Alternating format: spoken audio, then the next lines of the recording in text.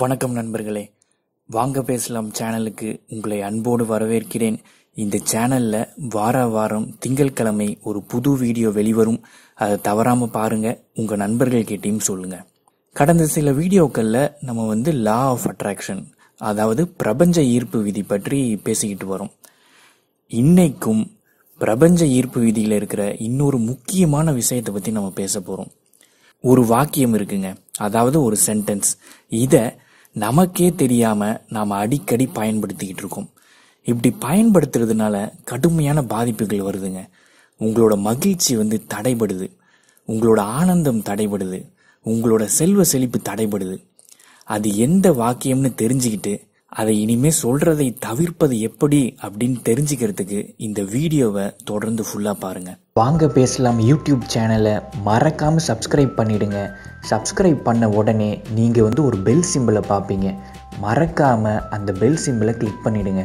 அப்போ தான் எங்களோட எல்லா வீடியோஸையும் மிஸ் பண்ணாமல் நீங்கள் பார்க்க முடியும். நான் வந்து லைஃப் கோச்சிங் பண்ணிட்டு இருக்கேங்க. அப்படின்னா நம்ம ஊர்ல கவுன்சிலிங் சொல்லுவாங்க. அதனால என்னால நிறைய பேர்கிட்ட பேச முடிஞ்சது சமீபத்துல. அதில் பெரும்பாலான மக்கள் என்ன மாதிரி சொல்லுவாங்கன்னா என் வாழ்க்கையில் ஒரே கஷ்டங்க. எதிர்பார்த்தது நடக்கலை. நண்பன் ஏமாத்திட்டான். மனைவி சொல் பேச்சு கேட்க மாட்டேங்கிறாங்க. கணவர் வந்து மதிக்க மாட்டேங்கிறாரு. மாமியார் வந்து மதிக்க மாட்டேங்கிறாங்க. நல்லா படிக்கணும் அப்படின்னு நினைக்கிறேன் ஆனால் படிக்க முடியல. நல்ல வேலை செஞ்சு பெரிய ஆள் ஆகணும்னு நினைக்கிறேன் ஆனால் முடியல. அப்படி நிறைய விஷயங்களை சொல்லிட்டு நான் எவ்வளோ நல்லது பண்ணுறேன் எல்லாருக்குமே நான் நல்லது பண்ணிகிட்டு இருக்கேன் இருந்தாலும் எனக்கு ஏங்க இப்படி நடக்குது? அவங்கெல்லாம் வந்து இவ்வளோ கெடுதல் பண்ணுறாங்க ஊரை ஏமாத்துறாங்க. ஆனால் அவங்கெல்லாம் சந்தோஷமா இருக்காங்களே.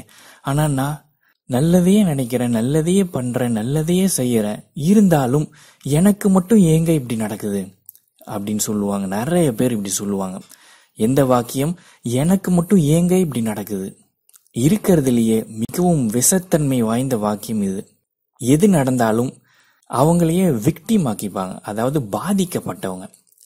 ஏதாவது ஒரு கெட்ட சம்பவம் நடந்தால் ஏதாவது ஒரு மனவேதனை அடைந்தால் நம்ம மனசுல வர முதல் வார்த்தை என்ன அப்படின்னு பார்த்தா எனக்கு மட்டும் ஏன் இப்படி நடக்குது? எல்லாரும் அங்க மகிழ்ச்சியா இருக்காங்க. எனக்கு மட்டும் ஏன் இப்படி நடக்குது? இது உங்க தப்புன்னு சொல்ல முடியாதுங்க. ஏன்னா பல ஆயிரம் ஆண்டுகளாக நம்மளோட டிஎன்ஏக்கள்லையோ இல்லை நம்மளோட மனசுலயோ இது வந்து இருந்துகிட்டே இருக்கு.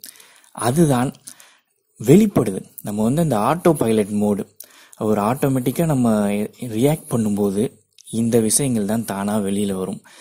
எது நடந்தாலும் நம்மளையே நாம் வந்து விக்டிம் ஆக்கிக்கிறோம் பாதிக்கப்பட்டவங்களாக்கிக்கிறோம். நம்மளோட கஷ்டம்தான் உலகத்திலேயே பெரிய கஷ்டம் அப்படின்னு சொல்கிறோம் இப்போ வேற யாராவது நம்மக்கிட்ட வந்து அவங்க கஷ்டத்தை சொன்னால் இதெல்லாம் ஒரு பெரிய கஷ்டமா? என்னோட கஷ்டம் தெரியுமா உனக்கு?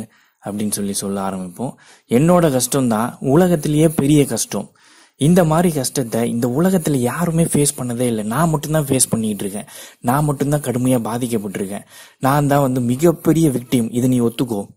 அப்படின்னு நிறைய பேர் சொல்லுவாங்க. நான் வந்து பொதுவாக மக்கள்கிட்ட சொல்லுவேன். உங்களை வந்து நீங்கள் வந்து பெருமையாக பேசிக்கோங்க. பாசிட்டிவாக பேசுங்க. சுப்பீரியராக பேசுங்க. நல்லதையே பேசுங்க. அப்படின்னு அதிக அளவில் சொல்லுவேன். ஆனால் நிறைய மக்கள் இது ஆப்போசிட் சைடில் இருக்காங்க. அந்த கெடுதலில் அந்த ஒரு சோகமான விஷயம் நடந்தா அல்லது வந்து ஒரு கசப்பான விஷயம் நடந்தா அந்த கஷ்டம் வந்து அவங்களுக்கு வந்து உலகத்திலேயே மிகப்பெரிய கஷ்டம் அப்படின்னு வந்து பெரிதுபடுத்தி சொல்கிறாங்க இருந்தாலும் இதெல்லாம் மாத்திரலாங்க ஒன்றும் பிரச்சனை இல்லை. இப்படி சொல்கிறவங்க கிட்ட நான் என்ன தெரியுமா சொல்லுவேன்? இந்த பாருங்க இந்த உலகத்தில் எழுநூறு கோடி பேர் இருக்காங்க. நீங்கள் இப்போ ஃபேஸ் பண்ணுறீங்களே இந்த கஷ்டம் இந்த வேதனை இந்த மன வலி இதை வந்து இதே நொடியில எவ்வளவோ பேர் ஃபேஸ் பண்ணிட்டு இருக்காங்க. இன்னும் எவ்வளவோ பேர் இதுல இருந்து மீண்டு வெளியில வந்துட்டாங்க. சரிங்களா? அதனால எனக்கு மட்டும் ஏன் இப்படி நடக்குதுன்னு தயவு செய்து சொல்லாதீங்க. நீங்க உங்க குறுகிய வட்டத்திலேயே இருக்கீங்க. நீங்க மட்டும்தான் உலகம்னு நினைச்சுக்கிட்டு இருக்கீங்க. அப்படி கிடையாது. 750 கோடி பேர் இருக்காங்க இந்த உலகத்துல. இந்த பிரச்சனையை ஏற்கனவே நிறைய பேர் எதிர்கொண்டிருக்காங்க. அதுல இருந்து மீண்டு வந்திருக்காங்க வெற்றிகரமா. அது எப்படின்றத தான் நீங்கள் வந்து ஃபோக்கஸ் பண்ணணும். அதுதான் ரொம்ப முக்கியம். உங்கள் எல்லாருக்குமே பிரபஞ்ச ஈர்ப்பு விதினா என்னன்னு தெரியும். நாம் வந்து எதை வந்து அதிகமாக பேசுகிறோமோ எதை பற்றி அதிகமாக சிந்திக்கிறோமோ அதுதான் நம்மளுடைய வாழ்க்கையில் திரும்ப திரும்ப நடக்கும். பிரபஞ்சம் என்ன நினைக்கும்? நமக்கு வந்து அதுதான் பிடிச்சிருக்கு அப்படின்னு சொல்லிட்டு அதை தான் அடிக்கடி நடக்க வைக்கும். இப்போ நீங்கள் வந்து எனக்கு மட்டும் ஏன் இப்படி நடக்குது அப்படின்னு புலம்பிக்கிட்டே இருந்தீங்கன்னா சரி இவங்களுக்கு வந்து இது ரொம்ப பிடிச்சிருக்கு. இந்த மாதிரி ஒரு பாதிப்பு ஏற்பட்டால் இவங்க வந்து எனக்கு மட்டும் ஏன் இப்படி நடக்குது அப்படின்னு அடிக்கடி சொல்லிக்கிட்டு இருக்காங்க. எனவே இவங்களுக்கு இது பிடிச்சிருக்கு போல அப்படின்னு இன்னும் அதிக அளவில் பாதிப்புகளை இந்த பிரபஞ்சம் உங்களுக்கு கொடுத்துக்கிட்டே இருக்கும். இது தேவையாங்க? நல்லா யோசிச்சு பாருங்க. இது தேவையா? நிச்சயம் இல்லைங்க. அதனால தான் சொல்கிறேன் இந்த மாதிரி எல்லாருக்குமே வாழ்க்கையில் கசப்பான அனுபவங்கள் நடக்கின்றது வேதனைகள் கிடைக்கின்றது ஒரு மனவலி ஏற்படுகின்றது. அது வந்து ஏழையாக இருந்தாலும் சரி மிகப்பெரிய பணக்காரனாக இருந்தாலும் சரி எல்லாருமே இதை வந்து ஃபேஸ் பண்ணுறாங்க ஆனால் இதுக்கு எப்படி ரியாக்ட் பண்ண போகிறோன்றது தான் முக்கியம். வாழ்க்கையில் என்ன வேணால் நடக்குங்க. ஆனால் அதுக்கு நாம் எப்படி ரியாக்ட் பண்ண போகிறோன்றது ரொம்ப ரொம்ப ரொம்ப ரொம்ப முக்கியம். அதுதான் நம்மளோட வாழ்க்கையை தீர்மானிக்கும். அதுதான் நம்மளோட வாழ்க்கை எவ்வளோ மகிழ்ச்சியாக இருக்குன்றதை தீர்மானிக்கும். அதுதான் நம்ம வாழ்க்கையில் நம்ம எவ்வளோ பெரிய பணக்காரன் ஆக போகிறோம் அப்படின்றத தீர்மானிக்கும். எனவே எப்படி ரியாக்ட் பண்ண போகிறோன்றது முக்கியம். ஒரு எக்ஸாம்பிள் நான் இப்போ சொல்கிறேங்க சமீபத்தில் இப்போ நடந்தது ஒரு சில நாட்களுக்கு முன்னாடி. நான் வந்து ஒரு நாள் கம்ப்யூட்டரில் வேலை பார்த்துக்கிட்டு இருக்கேன். ஒரு முக்கியமான டாக்குமெண்ட் நான் வந்து ரெடி பண்ணிகிட்டு இருக்கேன். திடீர்னு கம்ப்யூட்டர் ஆஃப் ஆயிடுச்சுங்க. நான் வந்து மறுநாள் காலையில் திரும்ப ஆன் பண்ணுறேன் ஆன் ஆகவே இல்லை. நானே கம்ப்யூட்டர் திறந்து ஏதாவது சரி பண்ண முடியுமான்னு பார்க்குறேன் இன்னும் இன்டர்நெட்லாம் தேடிக்கிட்டு இருக்கேன். எதுவுமே வந்து ஒர்க் அவுட் ஆகலை. அன்னைக்கு முழுக்க நான் ட்ரை பண்ணுறேன் என்னால் சரி பண்ண முடியல. அதுக்கு அடுத்த நாள் ஒரு கம்ப்யூட்டர் ரிப்பேர் ஷாப்பில் எடுத்துகிட்டு போய் கொடுக்குறேன். கொடுத்துட்டு அவங்கக்கிட்ட நான் சொன்னேன். இந்த மாதிரி எனக்கு நிறைய வேலைகள் இருக்குங்க. முக்கியமாக எனக்கு வந்து பிஸ்னஸ் நான் பண்ணிகிட்ருக்கேன் வெள்ளிக்கிழமை மாலை நான் வந்து யூடியூப் வீடியோவுக்கு வந்து நான் ரெக்கார்ட் பண்ணணும். அதுக்கப்புறம் வெள்ளிக்கிழமை இரவு சனிக்கிழமை இரவு ஞாயிற்றுக்கிழமை இரவு எனக்கு வந்து எடிட்டிங் ஒர்க் இருக்குது அப்லோடிங் ஒர்க் இருக்குது இதுக்கெல்லாம் வந்து எனக்கு கண்டிப்பாக இந்த லேப்டாப் தேவை. எனவே நீங்கள் நாளைக்குள்ளே சரி பண்ண முடியும்னா என்கிட்ட கம்ப்யூட்டர் வாங்கிக்கோங்க. இல்லைன்னா தயவு செய்து வேண்டாம் நான் வேறு கடையில் கொடுத்துக்கிறேன் அப்படின்னு சொன்னேன். உடனே அவர் என்ன சொன்னாருன்னா கடைக்காரர் இல்லைங்க நான் கண்டிப்பாக ரிப்பேர் பண்ணி தரேன். நாளைக்குள்ளே வந்து ரெடி பண்ணி கொடுத்துட்றேன் அப்படின்னாரு. சரின்னு கொடுத்துட்டு போயிட்டேன். மறுநாள் கால் பண்ணி கேட்கும்போது அவர் என்ன சொல்கிறாரு அப்படின்னா இல்லைங்க இன்றைக்கி வந்து ரிப்பேர் பண்ண முடியாது. உங்களுக்கு முன்னாடி நிறைய பேர் கொடுத்துருக்காங்க. அதனால் உங்களது வந்து சரி பண்ண முடியாது. நீங்கள் வேணா வந்து வாங்கிட்டு போயிருங்க அப்படின்ட்டாரு. அப்போ எனக்கு ஒரே ஷாக்கு ஏன்னா என்னோட அன்றாட வாழ்க்கையில் அந்த கம்ப்யூட்டர் முக்கிய பங்கு வகிக்குது. ஒரு நாள் கம்ப்யூட்டர் இல்லைனாலே மிகப்பெரிய பாதிப்பு ஏற்படுது. இப்போ இவரை ஒரு நாள் ஃபுல்லாக வச்சுக்கிட்டு கடைசியில் வந்து ரிப்பேரும் பண்ணாமல் அப்படியே திருப்பி கொடுக்குறாரு அப்படின்னு வந்து எனக்கு ரொம்ப ஒரு வேதனை வந்துச்சு. அந்த நொடியில் எனக்கு மட்டும் ஏன் இப்படி நடக்குதுன்ற எண்ணம் லேசாக வெளியில் வர ஆரம்பிச்சு. உடனே நான் சொன்னேன் நான் வந்து விக்டிம் இல்லை நான் பாதிக்கப்பட்டவன் இல்லை நான் சாதனையாளர். எனக்கு மட்டும் ஏன் இப்படி நடக்குதுன்றத நான் சொல்லவே மாட்டேன். இப்போ வருதில்ல இந்த ஒரு எண்ணம் இந்த ஒரு தாட் இதுக்கு வந்து நான் சக்தி கொடுக்கவே மாட்டேன். அதை நான் கண்டுக்க மாட்டேன். நான் வந்து சாதனையாளர். இந்த மாதிரி நிறைய பிரச்சனைகள் வரலாம் சவால்கள் வரலாம். இன் எந்த ஒரு நிலைமையிலும் நாம் வந்து ஸ்ட்ராங்காக இருக்கணும் வலிமையாக இருக்கணும் எதிர்கொள்ளணும் அப்படின்றத எனக்குள்ளேயே நான் திரும்ப திரும்ப சொல்லிட்டேன். அப்படியே வீட்டுக்கு வந்துட்டேன். சரி அப்புறம் இன்னொரு கடைக்கு கொண்டு போய் கொடுக்கலாம் அப்படின்னு வீட்டுக்கும் வந்தாச்சு. அதுக்கப்புறம் நான் அமைதியாக உட்காந்துக்கிட்டு இருக்கும்போது சடனாக ஒரு தாட் ஒன்று வருதுங்க. நாம் வந்து நம்ம கம்ப்யூட்டர் வாங்கும்போது இந்த வீடியோ எடிட்டிங் இல்லை யூடியூப்பு அதெல்லாம் நம்ம பண்ணதில்லை. நம்ம அன்றாட தேவைக்கான இமெயிலு அப்புறம் இந்த மைக்ரோசாஃப்ட் வேர்டு எக்ஸல் இந்த மாதிரி விஷயங்களுக்கு மட்டும்தான் நம்ம வாங்கணும். ஆனால் இப்போ நாம் வீடியோ எடிட்டிங் பண்ணுறோம் அதுக்கு வந்து ரொம்ப ஒரு பவர்ஃபுல் கம்ப்யூட்டர் தேவைப்படுது. நம்ம கம்ப்யூட்டர் அதுக்கு வந்து ஈடு கொடுக்கலையோ?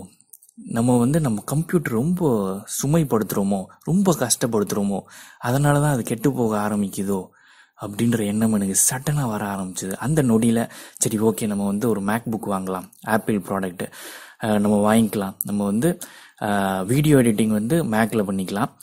மீதி வேலைகள் அதாவது என்னோட பிஸ்னஸ் ஒர்க் இமெயில் செக் பண்ணுறதோ இல்லை ஒரு மைக்ரோசாஃப்ட் வேர்டோ எக்ஸலோ இதுக்கு வந்து நாம் வந்து இப்போ இருக்கிற லேப்டாப் ரிப்பேர் பண்ணி யூஸ் பண்ணிக்கலாம் அப்படின்ற ஒரு சடன் தாட்டு இது இம்மீடியட்டாக எங்கேருந்தோ வந்ததுங்க. இப்போ தான் எனக்கு புரிஞ்சுது. இவ்வளோ பாதிப்புகள் நடந்ததுக்கு முக்கியமான காரணம் என்னோட கம்ப்யூட்டர் நான் செய்கிற வேலைக்கு உகந்ததாக இல்லை.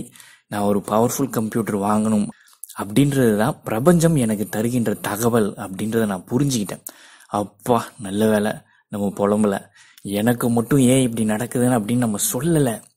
சொல்லாததுனால இந்த ஒட்டுமொத்த கெட்ட அனுபவங்களும் ஏன் நடந்துச்சு அப்படின்றது எனக்கு தெரிய வந்தது. எனவே இவ்வளவுதாங்க விஷயம். என்ன ஒரு கெடுதல் நடந்தாலும் வேதனை நடந்தாலும் பாதிப்பு நடந்தாலும் இம்மீடியட்டா நம்ம மனசுக்குள்ள இருந்து வெளியில வர்றது எனக்கு மட்டும் ஏன் இப்படி நடக்குது? அதை வந்து நீங்கள் கண்டுக்காதீங்க. எல்லாமே இந்த உலகத்தில் ஒரு காரணத்துக்காக தான் நடக்குது. எல்லாத்திலும் ஒரு நன்மை இருக்கின்றது. அது வந்து சில பேருக்கு இப்போ தெரியும். சில பேருக்கு அடுத்த வருஷம் தெரியும். சில பேருக்கு பத்து வருஷம் கழிச்சு தெரியும். சில பேருக்கு மரணப்படுக்கையில் தாங்க தெரியும். நமக்கு எப்போ தெரியணுமோ அப்போ அது கண்டிப்பாக தெரியும். ஆனால் எது நடந்தாலும் அதில் ஏதோ ஒரு நன்மை இருக்குன்றதை புரிஞ்சுக்கோங்க. எனக்கு மட்டும் ஏன் இப்படி நடக்குது அப்படின்னு தயவு செய்து இனிமேல் சொல்லாதீங்க. இப்போ கமெண்ட் பதிவு பண்ணுற நேரம்ங்க. நான் சாதனையாளர். நான் சாதனையாளர் அப்படின்னு நீங்கள் பதிவு பண்ணுங்க.